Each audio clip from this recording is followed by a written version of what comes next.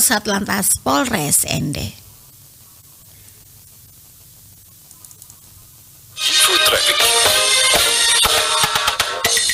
KBO Satlantas Polres ND Aibtu Uce Prago, selamat pagi.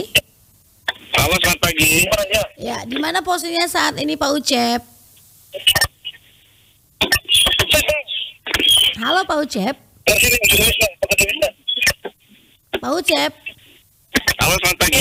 Ya, eh, di mana posisinya pagi hari ini? Halo, selamat pagi Kak Femi. Iya, pagi Pak Ucep. Silakan dengan informasi lalu lintasnya. Baik, terima kasih. Selamat pagi pendengar RRI di mana pun Anda berada. Kembali bersama kami Satlantas Polres ND menyampaikan situasi arus lalu lintas hari ini. Bersama kami Regu Patroli uh, hari ini uh, kami mengitari sekitaran Jalan Melati, Jalan Anggrek dan Jalan Durian. Terpantau arus lalu lintas hari ini, kami berangsur sudah mulai ramai dan lancar, terutama di beberapa titik yang sering kami pantau hari ini di antaranya perempatan Hotel Flores Mandiri mengarah ke Unflor dan juga di perempatan Jalan perempatan Melati Tengah hari ini petugas kami melakukan kegiatan pemantauan dan pengamatan arus lalu di sana. Kami masih mendapati banyak pelanggaran lalu lintas yang didominasi oleh pelanggaran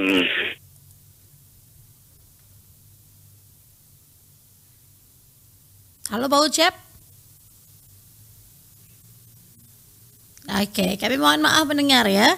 Sempat terputus uh, laporan dari Aibtu Ucep Rago. Kami akan kembali coba menghubungi uh, Aibtu Ucep Rago untuk menghadirkan informasi selengkapnya arus lalu lintas Kota ND untuk Anda pada kesempatan pagi hari ini. Selamat uh, untuk Anda juga pendengar ya yang uh, pejalan kaki juga yang hendak menuju ke tempat aktivitas masing-masing terus berhati-hati. Pak Ucep. Halo. Ya, silakan dilanjutkan kembali laporannya. Halo. Ya, silakan Pak Ucep. Femi, tadi tersempat terputus Kak Femi. Halo. Ya, ya, silakan kembali dilanjutkan. Iya, Masuk 92 Taruna. Oke, Pak Ucep bisa dengar suara saya? Bisa bisa. Oke, silakan dilanjutkan. dari kebetulan Ah, baik Kak Femi. Ah, hari ini kami melakukan rangkaian kegiatan pemantauan kalian di patroli kami. Hari ini nampak lintas sudah mulai ramai dan lancar. Ah, kami memantau di perempatan Melati Tengah. Hari ini terpantau ah, arus lalu lintas dari arah ah, Jalan El Tari mengarah ke Jalan Durian ataupun ke Jalan Melati dan atas atau bawah terpantau sudah mulai ramai dan lancar. Ah, arus arus lalu lintas hari ini didominasi oleh kendaraan roda 2 dan roda 4 pribadi. Ah, petugas kami melakukan kegiatan pemantauan dan juga kami ah, melakukan penindakan terhadap para pelanggar lalu lintas yang masih ah, kami dapati melakukan kegiatan pemantauan. Ah, sementara prediksi kami juga arus lalu lintas hari ini akan banyak masuk dari luar kota arah barat atau arah timur dikarenakan ah, Senin besok sudah mulai diawali dengan banyak sekolah yang sudah melakukan kegiatan. Uh, belajar mengajar seperti biasa. Sehingga berdampak arus lalu lintas dari luar kota yang sudah memasuki kota Ende. Kami mengimbau masyarakat yang hendak masuk ke kota Ende untuk tetap mentaati protokol lalu lintas, terutama anda yang uh, mengendarai kendaraan roda, du- roda dua atau roda empat uh, selalu taat protokol lalu lintas, terutama surat-surat kendaraan mohon dilengkapi.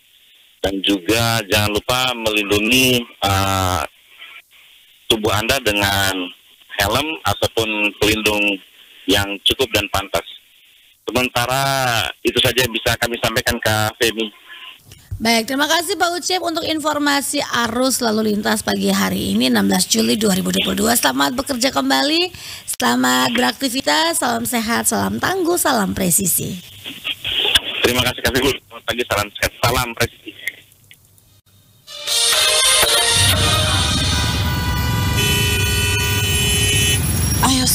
Maju terus we. Pas lagi